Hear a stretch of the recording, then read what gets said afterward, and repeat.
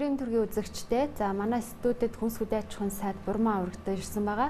За сүүлийн үед газар тариалангийн нийт бус нутгаар ган халалт ихтэй учраас нийт ургацынхаа 80 гаруй хувийг алдна гэсэн мэдээлэл нэлээд их тархсан. За энэ хэр үнэн бодтойс мөн одоо газар тариалангийн өнөөгийн нөхцөл байдлын талаар бид ярилцах болно. Танд энэ өдрийн мэндийг хүргэе.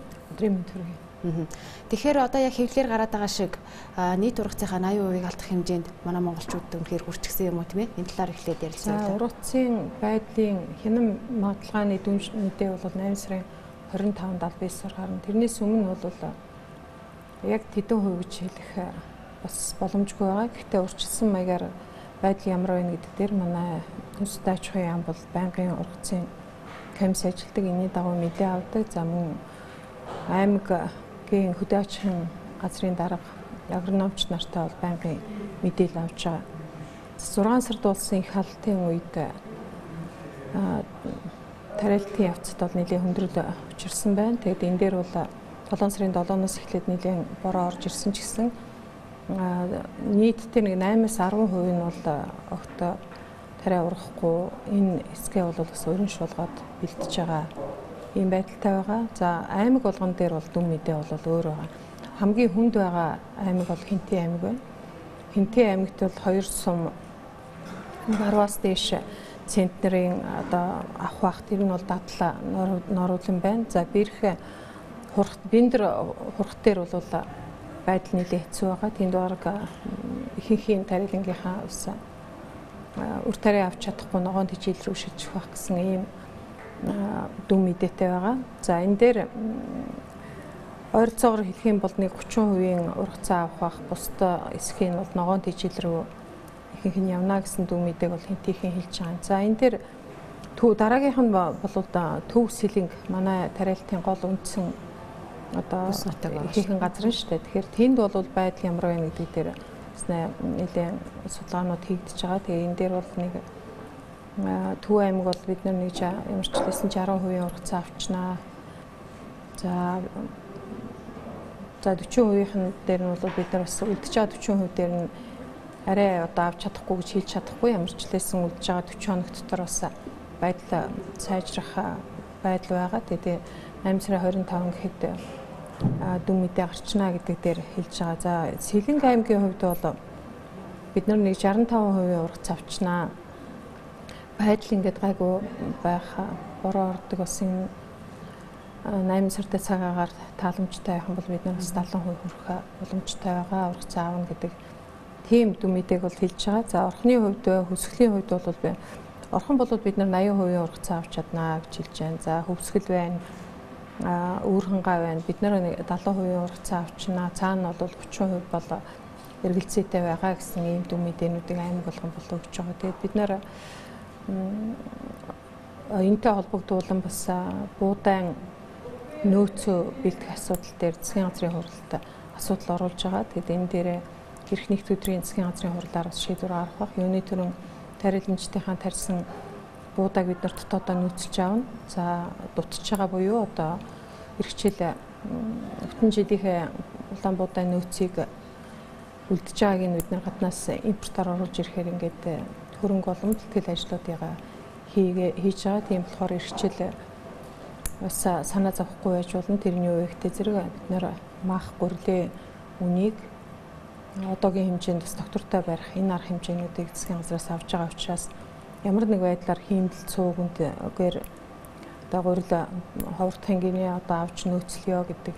ийм энд одоо итгэж хэрэггүй гэж хэлэх байна. За энэнийг зориудаар гэмээр ийм цуу яриа гаргаж байгаа нь бас сэргээд гурлийн үнийг нэмэх байдал руу түлхэж тухайлбал одоо гурил болон гурлан бүтээгдэхүүний үнийг эсвэл ид хоногт бас энэ цуу яриг дагалдуулаад бас нэмж штэ. За дээрэс нь аа бас өөрсөндөө байгаа улаан буудаага илүү үнээр гурлийн үйлдвэрүүдэд нийлүүлэх гэсэн бас ийм хувь сонирхлууд байна. Тэгэхээр ийм байдал за оролдгүйгээр бас эргчил засгийн газраас ямарчлээсэн үндсэн хүнсний бүтээгдэхүүн болох мах өрлөө бол хаа нөөцийг хангалттай бэлдэж аавна. Аа тэгэхээр урлагийн нөөцийг хангалттай бэлдэж авахын тулд бид нар чанартай, сайн улаан буудааг бол эртнээс хэрвээ дутж байгаа буудаага дутах юм бол буудаага бид нар гадаадаас импортлж авна. Яг одоо та сайн хэлээд бас зориудаар ингэ мэдээлэл тараагаад гурилын үнэ нөлөөлж байгаа ийм байдал бас үзэгдэх хандлагатай болж байна гэж тэгж штэ. А тэдгэр хүмүүсийн ярьж байгаагаар бол тариалан эрхлэгчид өнөөдрийн байдлаар маш их хэмжээний өөрийн дарамтанд орчихсон байгаа.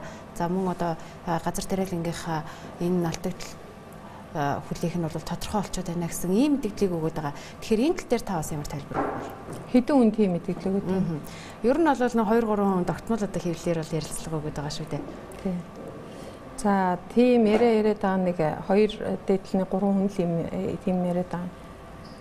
Тэгэхээр нийт тариаланчтайгаа бол бид нар газар дээр нь очиж уулзж байгаа. Тэднээс мэдээлэл авч байна.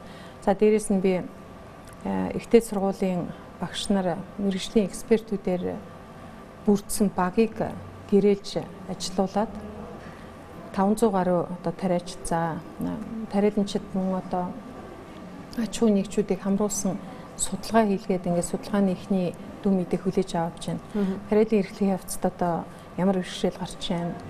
Ямар зүйл дээр нь одоо илүү хүртэг гардгийн ямар зүйл дээр нь одоо бид нар хөнгөлт дэмжлэг үзүүлэх үүдээ энэ бүх мэдээллийг авч энэний дагуу бодлого хийнэ А тэрнээс биш нэг хоёр хүн төлбөртэйгээр хэвлэл мэдээлэл сенсац хийж зарласны төлөө асуудал шийдэхгүй. Ерөнхийдөө бол бас энэ цаг агарын тааламжгүй байдлаас болж ургац алдах байдалтай байгаа учраас бид нар яг тэр ургац алдсан хүндрэлтэй бэрхшээлтэй байгаа тариаламжтай бол үр зээлэнд нь хөнгөлттэй одоо үр зээлийн асуудлыг одоо хойшлуулах. За дэмжлэг үзүүлэх асуудлыгаа явуулна. А тэгвэл тэрнээс нэг ажигсаал цуглаан хийгээд хэвлэл мэдээлэлээр дайр давшилсныхын төлөө төлөө тааламжтай тэднэр одоо тийм нийцсэн шийдвэр гаргана гэвэл тийм байж болохгүй. Одоо хэвлэл мэдээлэлээр баахан сенсац дэгдээгээд байгаа 2 3 хүн бол цаагаараа төрд одоо орон нутгийн цандаа төлөх ёстой албан татврын хэдэн зуун сая төгрөгийн өрөө төлөхгүй зугтах. За манай тариалан эрхлэх дэмжих сангаас бас зээл авчаад хэдэн жил дамнуулан өрөө төлөхгүй луунжж байгаа одоо нэг хүнд ихт 300 гаруй сая төгрөг 350 гаруй сая гэх мэт маш их мөнгө төгрөгийн асуудлууд байдаг. Энэ өр ширээ төлөхгүй зугтах гэж оролдож байгаа оролдлогууд л та. А тэрнээс биш бид нар нийт тариаламжтай тариалан эрхэлж байгаа хүмүүстээ 7 гаруй тэрүүн төгрөгийн дэмжлэг өгсөн. Тэрнээс үнэхээр одоо байгалийн өвчин зүйлээс болоод ургац алдсан хүмүүстэй тэдний өсөл тавьж бодлого нотлохоо одоо баталгаажуулсныхын дагуу ирсэн өсөлтийн дагуу тэр өр зээлийн хойшлуулах асуудлыг л шийдвэрлэж өгнө. Тэрнээс биш зүгээр л ингээ том дугуйр чашгирч чагсаа цуглаан хийж элдвэр бүтээх маягаар ингэж явж байгаагаар асуудал шийдэхгүй. Тэгэхээр би ургацын комисс ажиллаж байгаа чанар дээр нь судалгаа хийлгэж байгаа. За тариаламжтай эрхийн яд дэмжлэг үзүүлэх үү гэдэг дээр одоо үндэслэл бүхий судалгаа хийлгэж байна. За энэ дээр жишээ татчих юм бол бид нар 50 гаагаас татгшоо 100 гаагаас татгшоо тариалт эрхэлж байгаа аж ахуйн нэгжүүдэд бол өөрөө порто шатхууны зардлууд их өндөр байдаг. Тэрэн дээр нь хэрхэн яаж ус хөнгөлттэй зээл өгөх үү гэдгийг бид нар дэмжих хэрэгтэй байна. За за ажиллах хүчний цалин бол их өндөр байна. За дараа нь ер нь хамгийн одоо боломжтой өртөг баг гарч байгаа хэсэг нь бол мянгаас 600-аас 1000-ийн хооронд тариалт хийж байгаа. Нийтдээ 1000-аас 2000 гаатай тэр аж ахуйн нэгжүүд байна. За тэд нар тавигдах дэмжлэг бол бид нар дунд оврын бас трактор тоног төхөөрөмжийн хөнгөлтэй зээлэнд хамруулж өгөх зүйтэй байна. За 2000-аас дээш дээр нь бол одоо цалингийн зардал багасаад ирдэг. Гэтэл эргүүлээд нөгөө тоног төхөөрөмжийн илэгдэл хородлын зардал их болдог осчуулт дээр нь бас зардал их болоод ирдэг бол бид нар тэрэнд нь тааруулсан дэмжлэг бодлогыг явуулнаа. Тэрнээс биш өмнө нь бол ингээд нэг тонн тутамд чинь тэдэн төгөр өгнө гэж хэлээд явуулж исэн бодлого маань буруу байсан байна гэдэг дээр дүн шинжилгээ хийж байгаа. Тэр нь өөрөө эргээд чанар хамаарахгүй датуулагтай буудаа ч юм уу хөрсөө сайжруулад илүү цавлаг өндөр тийм буудаа авахыг биш зүгээр л тоог нэг тэдэн тооныг тушаачих тэгвэл чам дурамшуул өгнө гэдэг энэ бодлого чинь өөрөө эргээд төрсөө хаахрахгүй ирэх байдал төрсөн байна. За хатуулаг цавлаг сайтай тариа тариа тарих тэр урамшууллыг бий болгоогүй байна гэх мэтлэнгийн асуудлууд байна. Тэгэхээр газар тариалантай холбоотой асуудал дээр гарч байгаа энэ шүүмж хилаамыг бол би эргээр харж байгаа. Тэр цавуулаг гадаадаас цавуулаг өндөр импортын будаа оруулж ирснийг шүүмжлээд нэлээд хилаан болсон. Тэрний цаана цавуулгынхаа асуудлыг хайхрахгүй тоон тутамчин мөнгө өгнө гэж хэлээд тариаланчд бас тооны хойно сөөцөлтөд явсан байна. Тийм учраас энэс хойш бол бид нар цавуулаг өндөр а тэр одоо чанарт нь тулгуурласан урамшууллын бодлого явах нь зүйтэй гэж үзэж би бас энэ төрөөс өстэй дэмжлэг урамшуул дээр бол чанар харгалцнаа гэдэг шаардлага тавьж байгаа. За дээрэс нь танил талаараа дамжуулан сайд дарганараа нэрийг барьж одоо шаардлага хангахгүй буудаага шахаж өгдөг. Үр зээлээ төлөхгүй хэдэн жил ингэж луунжиж явдаг байдлыг бол би таслан зогсоож байгаа. Тийм учраас сайн харилцагч одоо чанаргүй харилцагч гэдэг юм уу? Одоо тийм үзүүлэлтийг гаргаад сайн харилцагч нарт өмнө нь одоо 30% урьдчилгаа авч зээлээр шатхуун одоо ургамал хамгаалах бодис үр энтер өгдөг байсныг бол 10% болгож байгаа. Зарим тохиолдолд бүр урьдчилгаа авахгүйгээр ч гэсэн энэ зээл төслөмжийг нь үзүүлж байгаа. А чанаргүй буюу одоо авсан зээлээ төлдөггүй, өгдөггүй тийм харилцагч нарт бол зээл төслөмжинд оруулах асуудал дээр нь шаардлагыг бол өндөр юм тавь гэсэн ийм одоо чиглэлийг бол би тариад эрхлэх дэмжих сан болон яамны хандаа болоод өгсөн байгаа. Тэгэхээр энэний дагуу явнаа. Тэрнээс биш одоо сайдын зөвлөгч гэдэг юм уу? Тэр энэ сайдын фракцийн хүн, тэр энэ намын хүн, тэрэнд би нөлөөлдөг гэдгээр ажил явахгүй. Тэгэхээр хувийн сонирхлыг бол бас энэ одоо улсын нийтлэг эрх ашиг хоёроос заагалж явах болно. Тийм учраас аливаа зүйлийг бодиттойгоор үндсэлтэйгээр судалгаатаар ингээ явж байгаа шаардлагатай гэж үзсэн учраас би энэ тариалын газар тариалангийн асуудалтай болж байна. Бичээрийн асуудал дээр ч гэсэн судалгаа их тутмаг явж ирсэн учраас зориуд би мөнгө хөрөнгө гаргаад мэрэгжлийн хүмүүстэй гэрээлүүлээд энэ дээр судалгаа хийлгэж байгаа. Тэгээ судалгаан дээр үндэслэн шийдвэрүүдийг гаргаа явж байна. За одоо энэ тариалан эрхлэлтэд бүс нутгууд маань нэлээд гандуу байлаа шүү дээ. Тэгэхээр энэ хэсэг дээр тариаланд буудаан тэнц хэсгийг бид нар улаан буудаан нөөцөндөө хүлээгээд авчна. За үлдэж байгаа хэсэг нь бол малын тижэл болгоо гэхэд тэр малын тижэл маань бас ирэх одоо цудуулж магадгүй өвлийн хүндрэл бэрхшээл гарах юм бол тэр үед бас нэг хэрэгцээтэй зүйл байх болно. Тэр яг энэ төвийн хэсгүүд дээр бол бичээрийн даац дөрөв дахин ихссэн. Хамгийн их одоо бичээрийн даац хэтэрсэн газар бол энэ төвс сэлэнгэ одоо энэ газар тариалангийн бүс нутаг байдаг. Тэгэхээр энд байгаа одоо энэ гандуу байгаагаас болж бас бэлчээр тун тааруу байгаа. Тэгэхээр энэ байгаа бүс нутгуудад бас малын тижээлд нь зориулж одоо дэмжлэг үзүүлэх асуудлыг бид нар бас засгийн газартаа оруулахаар бэлдэж байна. За малын тижээл бэлтгэхтэй холбогдуулан малын тижээлийг нөөтөөс чөлөөлөх асуудлыг бид нар засгийн газрын их хурлд оруулж байна. За мөн одоо хэвгийг гадагшаа экспортлж байгааг төр хугацаанд зогсоох асуудлыг бас засгийн газарт оруулж байгаа. Тэгэх юм бол өнөөдөр бас хэвгний үн бас нэг 50 төгрөгөөр нэмэгдсэн байна шүү дээ. Тэгэхээр энэ асуудлыг зогсоож дотооддоо энэ хэвгний хэвгээ хангах асуудлууд нэгдүгээр зорилго байх хэрэгтэй гэж үзэж байгаа. Гэх мэтлэнгийн бид нар бол үйлчлэлтийн бэлтгэл асуудалтай холбогдуулаад засгийн газарт асуудал оруулж байна. За холбогдох шийдвэрүүдийг гаргаад ингээд явж байгаа. Орон нутгад маань бас үйлдвэрийн бэлтгэлээ хангаад үйл ажиллагаагаа явуулж байна. Тухайлбал гээд хинти нэлээд гангийн байдал нэлээд хэцүү байгаа газар ус ус садлангаа 5 аж ахуйн нэгжтэй гэрээ хийгээд 450 тонн ус бэлдээд явж байна. За төрийн байгууллагад ажилладаг хүмүүс маань хүн болгон 25 кг өвс бэлдэж одоо тушаах тийм үүрэг аваад ажиллаж байна. Тэг жишээтэй аймаг болгон маань одоо өвлийн бэлтгэлээ базаагаад хангаад явж байгаа. За хадлан тижэл авч чадахгүй аймагуудад хадлан хичээл сайн гарсан. Сүхбаатар аймгийн урд хэсэг аймаг, Доронтой аймаг гээд энэ аймагуудаас хуваарлан хадлан хичээл бэлтгэх асуудлуудыг за баруун аймагуудад бас хадлан хичээл нэлээд гайгүй.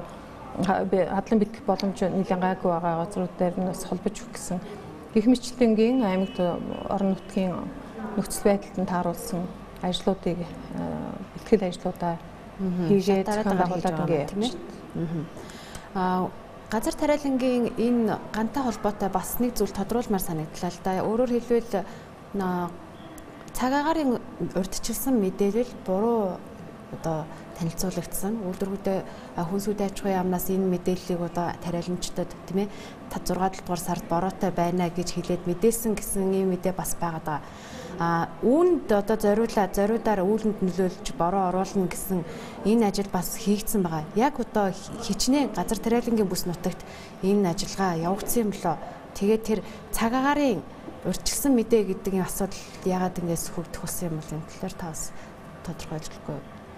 За бид нар 3 2 сарын сүүлчээс 3 сарын дунд хүртэл эрхлэх эрхэлдэг бүх газруудаа зөвлөгөө хийсэн. Зөвлөгөөнд одоо технологийн талаас, техник талаас нь гэдэг ингээ бүх мэрэгжлийн хүмүүсийг авчиж ингээ тариаланчтай зөвлөгөө өгсөн. За энэ дээр бид нэр ус цагуурийнхныг авчиж бас мэдээлэл өгсөн байна.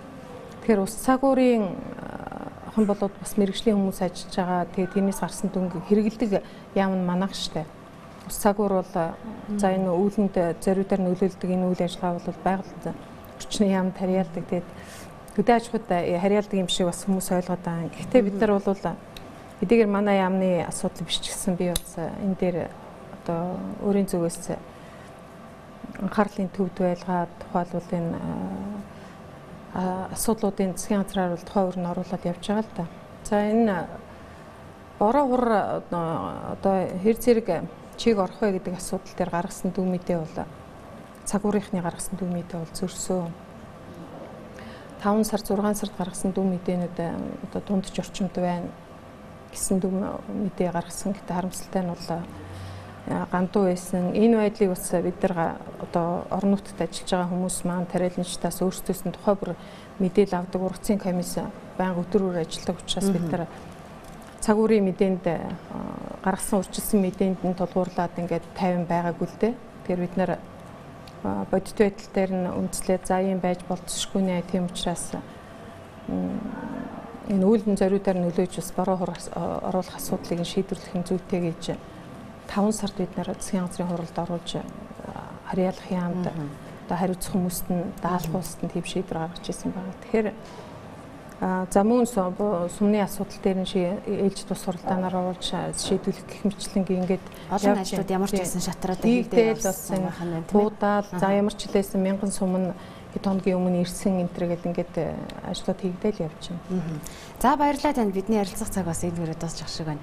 Тэг ямар ч байсан гурилын үн бол нэмэгдэхгүй байх. Энэ тал дээр олон ажлууд хийж байгаа юм байна гэж ойлголоо. За алдагдал хэрвээ хүлээхээр болсон газар тариалан эрхлэгчдэд ямар ч байсан нөхөн төлбөрийг бас олгох нь гэж ойлголоо. Нөхөн төлбөр биш одоо авсан зээлийн дээр хойшлуулах асуудал хойшлуулах асуудал яригдчих байгаа юм байна тийм ээ. За баярлалаа таны ажилд амжилт хүсье.